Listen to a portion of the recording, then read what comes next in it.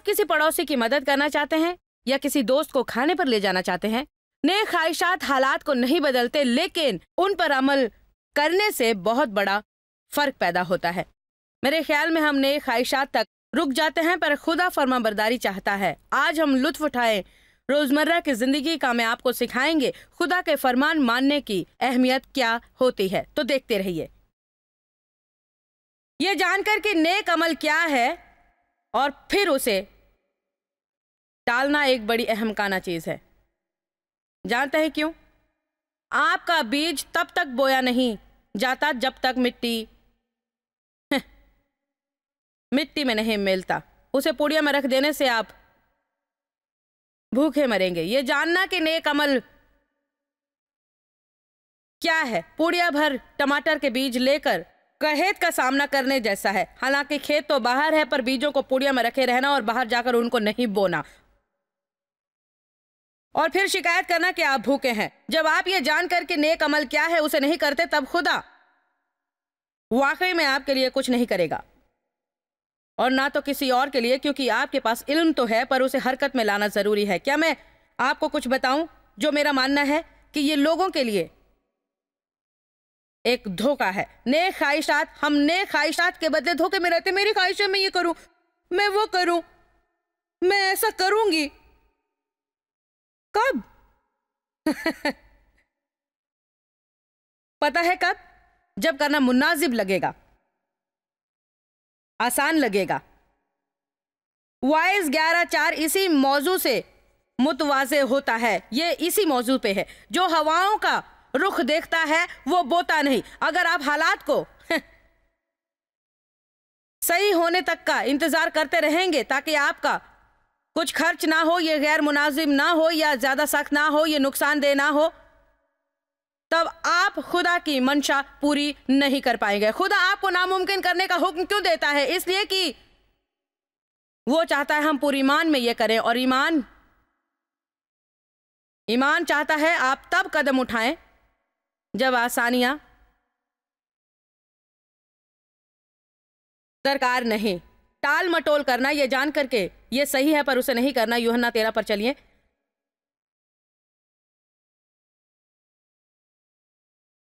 क्या आपने गौर किया, जब मैंने टाल मटोल कहा तो सब करा उठे? मेरे ख्याल में हम लोग अपने आप में भी और ज़िंदगी में भी खुशी महसूस करते, अगर हम हरकत में रहने वाले लोग होते बजाय इसके कि कुर्सी कुर्सी में बैठकर कूड़े करकट को हम तकते रहें या ऐसे देखते रहें।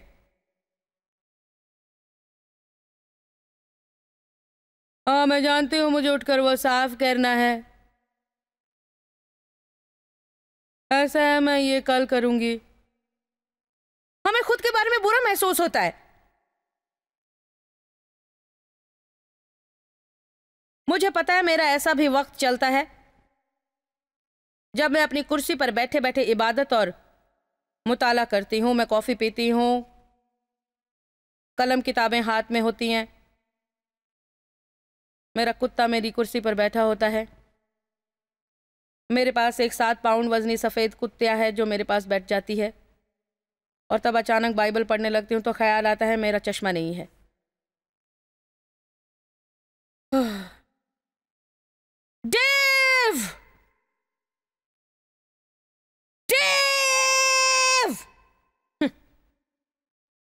कुछ नहीं। डेव मैं उठ नहीं सकती। तो ऐसा है कि अगर मैं हाथ बढ़ाकर अपना सेल फ़ोन उठा लेती हूँ। पर, पर मैं उठ नहीं सकती। तो ऐसा करने की कोशिश में मैं अपनी कॉफ़ी गिरा देती हूँ। कभी कभी मैं बहुत ज़्यादा गंद फैला देती हूँ क्योंकि मैंने उठकर अपना चश्मा खुद नहीं लिया और मैं उठना नहीं चाहती थी। आप बनिए मत जैसे आप जानते नहीं मैं क्या बात कर रही हूँ। असल में जो मैं बता रही हूँ आप समझते हैं, है ना?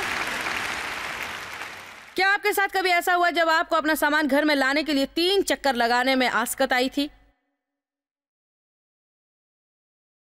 तब आप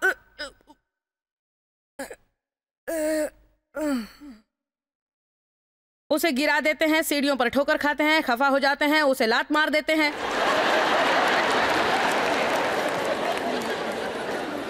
इसकी जड़ उस रवैये में है जहाँ आप जरा सी जहमत सहन नहीं कर सकते। अमेरिका की अवलीन, तरीन कुर्सी का नाम है लेजी बॉय, ना कि वर्कर बॉय। हाँ हाँ लेजी बॉय ना कि वर्कर बॉय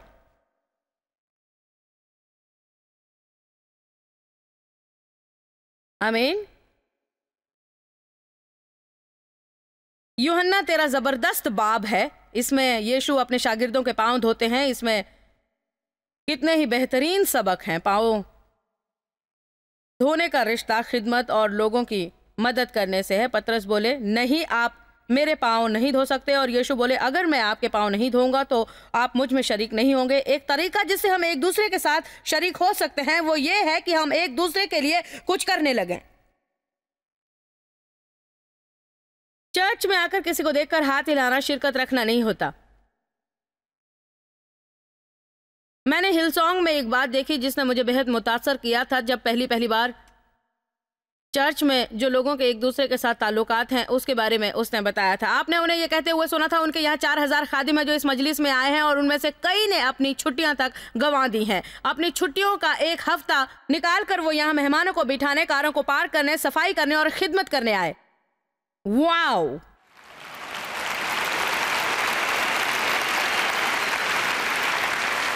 पर ये तो सुनिए, उनके मुलाजिमों में भी ब्रायन ने मुझसे कुछ कहा जो मुझे अच्छा लगा। वो बोले, आप लोग मिलकर चर्च के ताल्लुक से तो साथ रहना जानते हैं, पर आप लोगों ने ज़िंदगी के ताल्लुक से साथ रहना नहीं सीखा है तो आपको ज़िंदगी के ताल्लुक से साथ रहना सीखना है।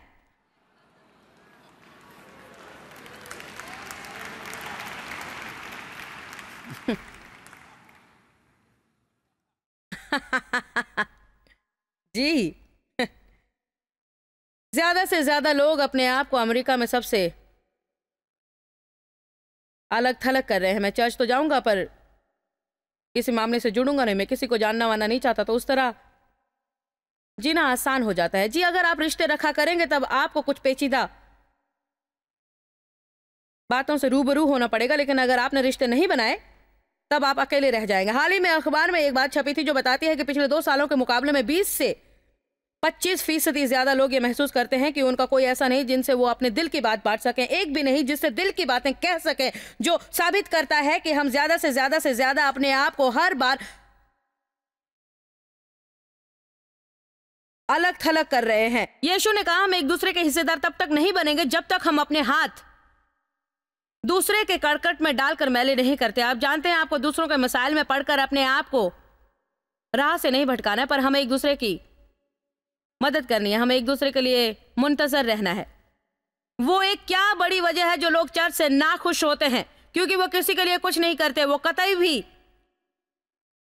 किसी के लिए कुछ नहीं करते। मुझे एक लड़की की सुनाई हुई कहानी अच्छी तरह से याद है, जो बहुत ही शानदार कहानी है। वो बरसों मेरी जनाना मजलिस में शरीक हुआ करती, तकरीबन 20 साल तक। हर बरस वो आती, उसने बताया पिछले दो सालों से उसे उसमें से कुछ नहीं मिला, तब उसने दुआ में ये मांग लिया कि खुदावन जॉयस को क्या हो गया है? उसने खुद मुझसे ये कहा। वो बोली, जॉयस को क्या हो गया है? क्या उसका कोई जाती मसला है? क्या वो अपना मसा गंवा रही है? मुझे उसकी मजलिसों से अब कुछ हासिल नहीं हो रहा है। तब खुदा ने जवाब दिया, जॉयस को कुछ नहीं हुआ इस वजह से तुम्हें वहाँ से अब कुछ नहीं मिल रहा है कि तुम एक लंबे अरसे से लबरेज हो गई हो और जब तक तुम थोड़ी बहुत खाली नहीं हो जाती तो लौट के आने का कोई फ़ायदा नहीं क्योंकि तुम्हारे अंदर और सामने के लिए जगह नहीं बची।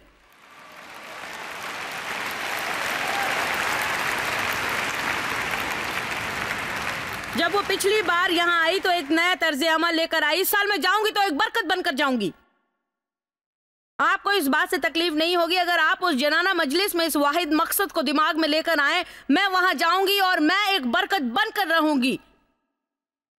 मैं उन लोगों से बात करूँगी जो तनहा से लगते हैं, मैं उन लोगों के ताक में रहूँगी जो मुमकिन है वसाइल खरीदने की हैसियत ना रखता हूँ, जिन्हें किताबों के मजमू या टेप्स की ज़रूरत है और वो मैं उन्हें खरीद कर दूँगी। मैं कुछ गिफ्ट सर्टिफिकेट्स जो वहाँ के होटलों में चलते हैं उन लोगों को पेश करूँगी जिनके पास उतने पैसे ना हो। आप समझ नहीं सकते इस बात का अंदाज़ा नहीं लगा सकते आप कितने खुश होंगे। अगर आप थोड़ी खल की सोच इख्तियार करें कि किसी के लिए क्या नेकी कर सकते हैं, अपने बारे में कुछ देर के लिए सोचना बंद कर दें।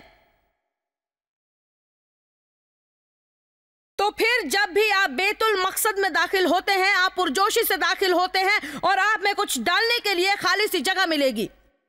तो यीशु उनसे बोले, मैं आप लोगों को एक मिसाल दे दूँ, मैं आपको जीने का तरीका दिखा दूँ। और वो अपने घुटनों पर आ गए, अपना शानदार लिबास उन्होंने उतार दिया और नौकरों का अंगरच्छा उठाया और मुझे बाइबल की ये बात पसंद है। ये जानते हुए कि वो कहाँ से आया था, ये जानते हुए कि कहाँ जाना है। बस उसी तरह के लोग दूसरों के पाँव धो सकते हैं, जो जानते हैं कि वो कौन है। जो जानते हैं मसीह में उनका क्या मर्तबा है। ना कि कोई ऐसा जो साबित करना चाहता है, उसका अहदा बड़ा है और खुद को झुकाता नहीं है। यह बिल्कुल ठीक नहीं है। यह बिल्कुल गलत है।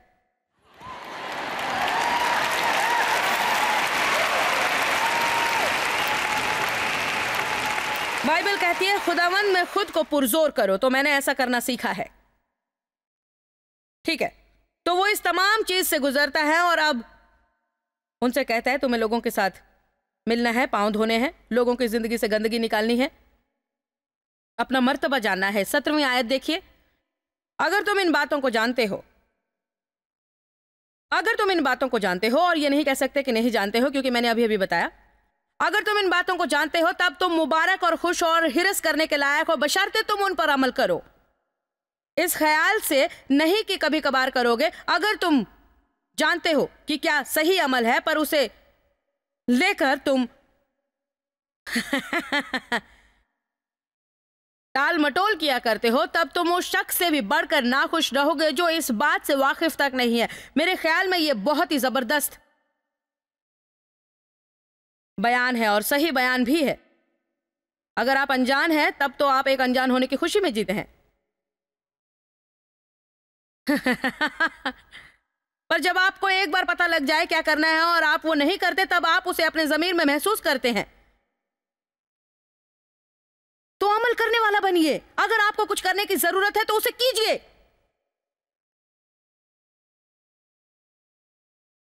अगर आप उस कोठरी को साफ़ करने के ख्याल से दो बरसों से जूझ रहे हैं तो जाकर उस बदबूदार चीज़ को निकाल फेंकिए।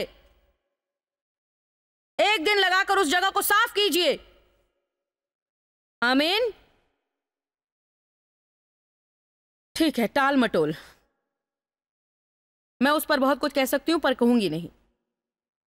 एक और बात, जिसे लेकर आपको तैयार रहना है और मैं उस पर तालीम नहीं दूँगी, पर यह पांचवा नंबर अहम खाना, गुनाह, आलूद, बेकार और गलीज बातें। इफिसियों पाँच, चार। कुछ बातें जो हम करते हैं, वो बेवकूफाना होती हैं। कुत्ते और बिल्लियाँ बरस रहे हैं। ज़ाहिर है, ये बातें गुनाह नहीं है, लेकिन जब आप जरा वो सुने जो हम अक्सर कहते हैं, मुझे गुदगुदा के मारे डाल रहा है। ये मुझे मारे डालता है। मैं ऐसों को जानती हूँ जो जब जब पीछे को मुड़ते हैं, उन्हें कोई ना कोई चीज़ मारे डालती है।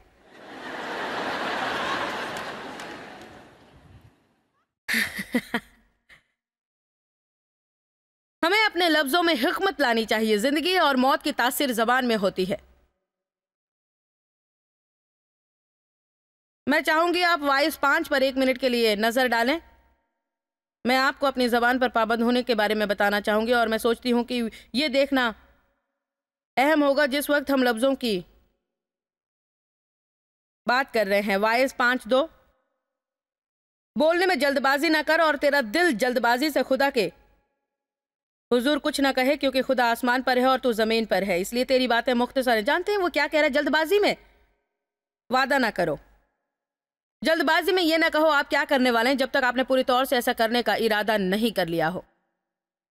हमें सूझबूझ रखनी चाहिए। मैं तुम्हें खाने पर बुलाऊँगी। मैं तुम्हें अगले हफ़्ते फ़ोन करूँगी। मैं तुम्हें इस पकवान की तरकीब भेजूँगी। मैं संजीदा हूँ हमें बड़ी समझ के बाद बोलना चाहिए, क्योंकि खुदा हमारे अल्फाज को एक मुहिदा मानता है। उन दिनों का क्या हुआ जब आपको उन तमाम कानूनी मुहिदों की ज़रूरत नहीं पड़ती थी, जब कोई कह देता, मैंने तुम्हें अपनी जबान दी है।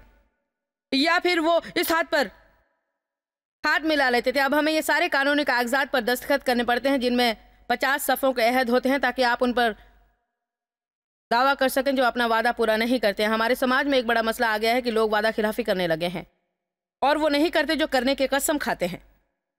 और मैं आपको बता दूँ, ऐसा मसीही लोगों के बीच नहीं होना चाहिए। सच कहें तो अगर आप किसी से कहते हैं, आप उनके फ़ोन का जवाब देंगे तो आपको जवाब देना चाहिए। अगर आप किसी से कहें, आप उनसे कहीं पर मिलेंगे तो आपको मिलना चाहिए, हमें एक दूसरे के लिए काबिल भरोसा बनना चाहिए। अब मैं आपसे उस चीज़ पर बात करना चाहती हूँ जो मेरे लिए इस बात का ज़रूरी हिस्सा है। मैं आपसे जिना और बदकारी करने की हिमाकत पर कुछ बोलना चाहूँगी।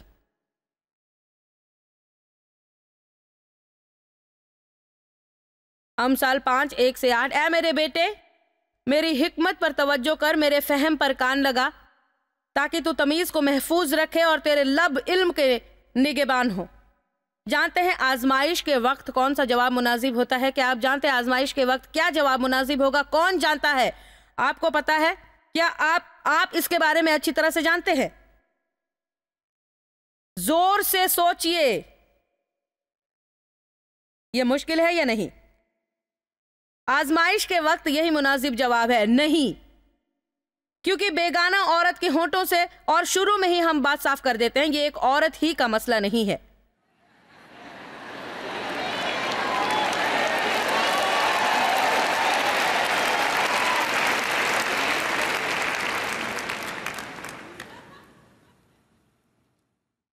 क्योंकि बेगाना औरत के होठों से शहद टपकता है और उसका मुँह तेल से ज़्यादा चिकना, चौथी आयत, मगर आखिर में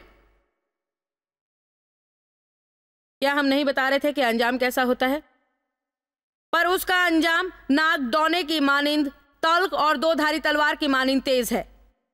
उसके पाँव मौत की तरफ़ जाते हैं, उसके कदम पाताल तक पहुँचते हैं। पाताल जो मरे हुओं का मकाम है, सो उसे ज़िंदगी का हमवार रास्ता नहीं मिलता, उसकी राहें बेठिकाना है, पर वो बेखबर है।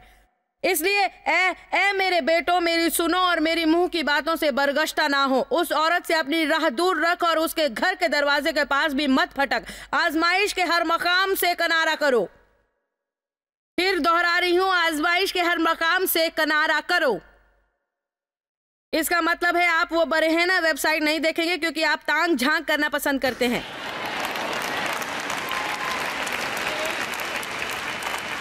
किसी को तो ये ऐलान करना था, इसलिए मैं दुनिया से ये कह रही हूँ। जाकर वो बरहना पोर्नो साइट्स में तांग झाँक ना करें, क्योंकि वो शयातीन बैठे हैं। इस फिराक में कि वो आपको दबोच सके जब आप ऐसा कर रहे हैं।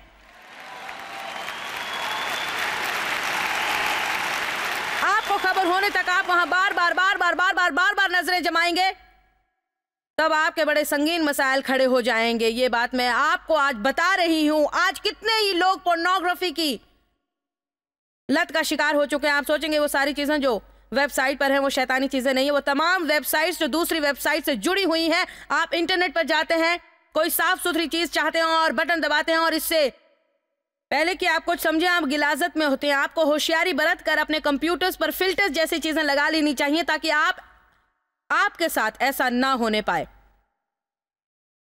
आप टेलीविज़न एक चैनल से दूसरे चैनल पर जाते हैं, आपके सामने अब ऐसी चीज़ें आ जाती हैं कि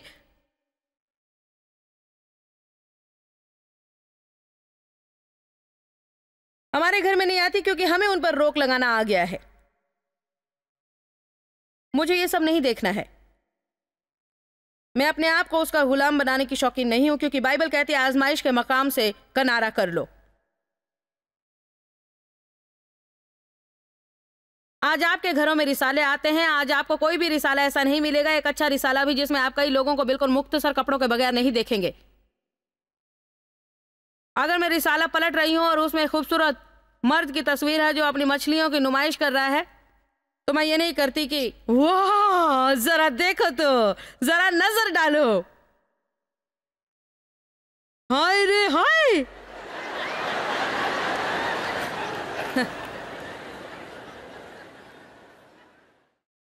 मैं सचमुच उम्मीद करती हूँ कि जब मेरे शोहर रिसाले उलटते पलटते ना सिर्फ़ उम्मीद करती हूँ, मैं जानती हूँ वो ऐसा नहीं करते। यार, जरा देखो तो।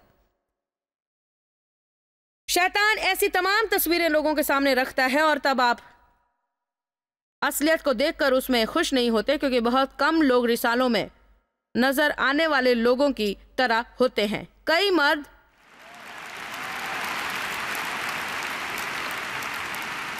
पोर्नो वेबसाइट्स पर जाकर उन तमाम औरतों को देखते हैं और फिर घर जाकर अपने वाकई में हसीन बीवी को देखते हैं, जिससे उसकी पाँच औलादें पैदा हुई हैं और अब उसके जिस्म में थोड़ी बहुत चर्बी या ढीली खाल नज़र आती है और अचानक वो उसे सराहना छोड़ देते हैं क्योंकि वो हफ़्ता भर इंटरनेट पर रहने लगे हैं और नई नई लड़कियाँ देखने लगे हैं।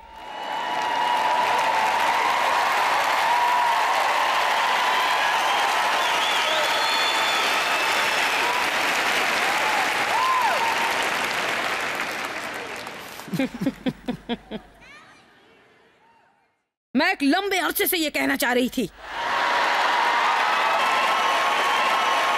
मैंने अपनी बंदूक पे गोली भरनी चलाने के लिए तैयार हूँ मुझे तो बस वो सही लोग चाहिए थे मुझे आपसे कुछ कहना है, खुदा की प्यारी खातून। लुभाने के ज़रिए मत बनो।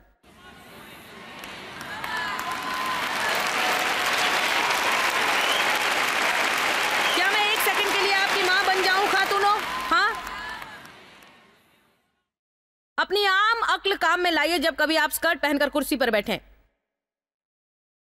माफ़ कीजिए, मगर लोगों को यह बातें बताना ज़रूरी है।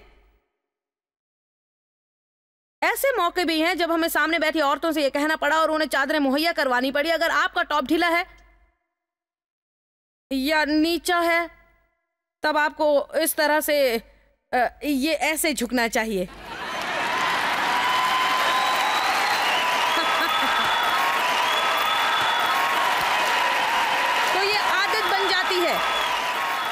आपको ऐसा करना चाहिए। आमीन। आपको ऐसा स्कर्ट पहनकर काम पर नहीं जाना चाहिए जिसमें यहाँ तक चीरा हो। ये तो स्टाइल है। नहीं तुम खुदा की बंदी हो, मैं माफ़ी चाहूँगी, मगर कुछ चीज़ें आपके हक में नहीं होंगे, आप चाहे जो भी कर ले।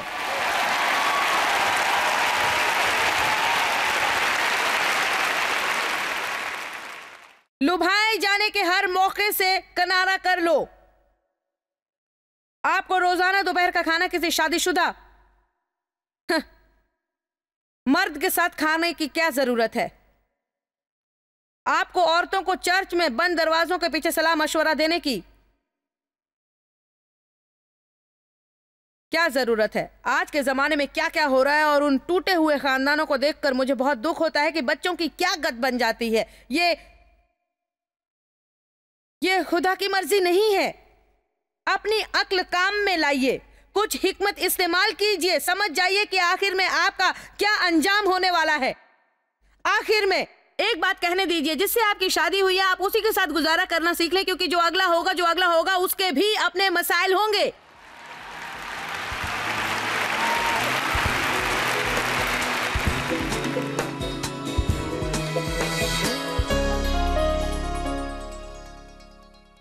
मानती हूँ एक बड़ी वजह जिसके तहत लोग खुश नहीं है कि वो किसी और के लिए कुछ नहीं किया करते हैं। आपको अपना ख्याल अपने ऊपर से और अपनी ज़रूरतों के ऊपर से हटाकर किसी दूसरे के ऊपर लगाना चाहिए, चाहे आपकी ज़िंदगी में फिल वक्त जैसे भी हालात क्यों ना हो, ऐसा कोई है जो आपसे बुरी गत में है। हालाँकि आपको लगता होगा कि आप अपनी मदद आप नहीं कर सकते। अगर आप हाथ बढ़ाकर किसी की मदद करेंगे, तब आप एक ऐसा बीज बोते हैं ताकि खुदा आपकी अपनी ज़िंदगी में एक भरपूर फ़सल आए और आप इसका भरपूर लुत्फ उठा पाए। आज हम आपको दो डीवीडी पेश कर रहे हैं, जो है wisdom and the blessed life खुदा हमें एक मुबारक ज़िंदगी देने का वादा करता है।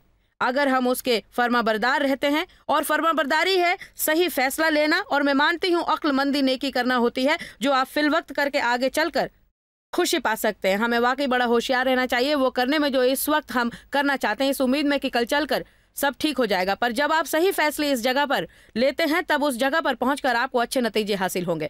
हम जॉन बीवियर की भी एक किताब पेश कर रहे हैं अंडर कवर शायद आप सोचेंगे, इसका मतलब क्या है? तो अच्छी बात यह है कि ये किताब पाकर आप ये जान सकते हैं। मुमकिन है, आप उस छत के नीचे ही नहीं है जिसे खुदा ने आपकी ज़िंदगी के लिए बरकरार किया है। आप हैरान हो जाएँगे कि किस तरह की हिफाजत आपके लिए मुहैया है। अगर आप उस छत के नीचे रहे, हम आपसे इतनी मोहब्बत रखते हैं कि हमारी नेक ख्वाहिश है कि आप वो सही कलाम पालें क्योंकि यही आपकी ज़िंदगी को बदल देगा। तो मेरा ऐलानकार आपसे जो कह रहा है, उसे ध्यान से सुनिए और याद रखिए कि आपको यीशु में अपनी ज़िंदगी का लुत्फ उठाना है।